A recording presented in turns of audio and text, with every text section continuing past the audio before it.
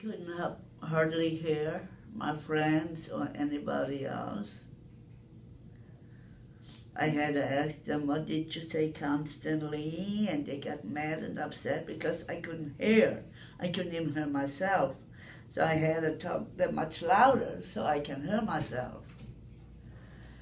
And then by accident, I ran through the yellow pages. And I found you all and also on TV advertising. So I decided I'd give you all a call and see what can be done about it. And it's really making you understand how much better I hear now. In the short amount of time I've been here. And, you know, he said it's not going to be getting no 100%, but he said at least it's almost 90%. But he said, you know, it's so much different though. You That's know, amazing. I can, when I first came, I had to have my TV almost on 40 to be able to hear, but now I got it on 18. well, I can hear people better, and I don't get as many headaches anymore as I used to have. Really bad, bad, bad headaches. Mm-hmm. And I was so down because I couldn't hear, but now it's more like uplifting now, you know.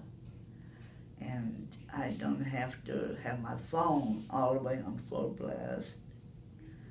So it helps a lot. And, you know, basically, if it wouldn't been for you all, I probably would have been down to 20 something percent by now. Mm.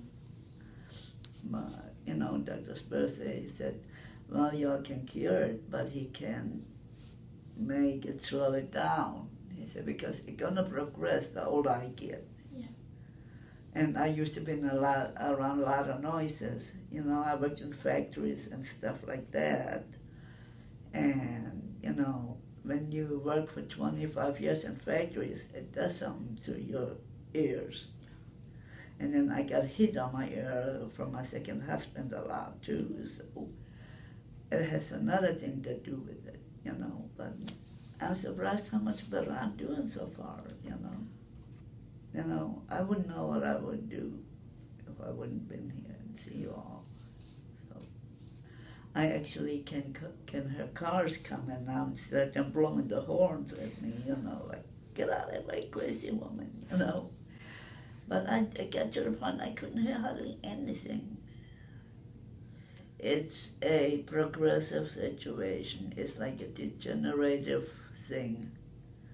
It once you got it, it can't be stopped. And everything I waited too long, you know. Everything I waited too long. The, if I would have had a chance to come earlier, might would not have gotten this bad. I now know I don't have to deal with it no more because I now got you all to help me out if I think it's getting worse or whatever.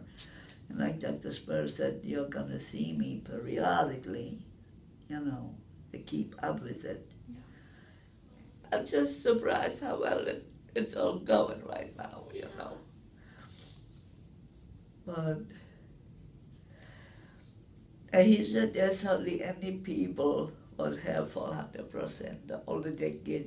Plus, when, when you work in loud noises most of your life,